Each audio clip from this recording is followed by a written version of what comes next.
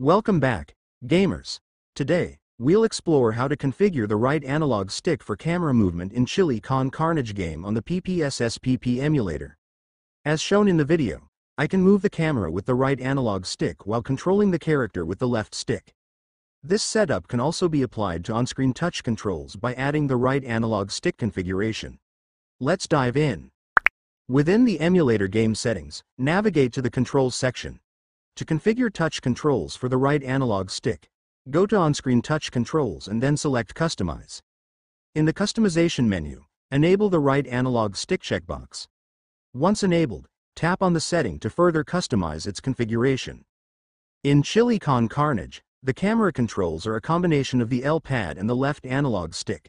To configure the right analog stick for camera movement, you'll need to map the same directional inputs as the left analog stick to the right analog stick.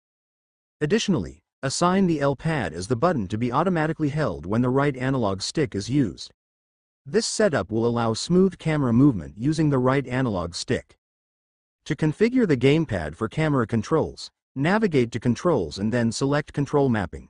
In the Mapping menu, scroll down to the L-pad mapping section and assign the gamepad right analog stick to all four directional inputs. Next, go to Analog Mappings and ensure the right analog stick is mapped correctly for each direction. Once these steps are complete, the setup is done.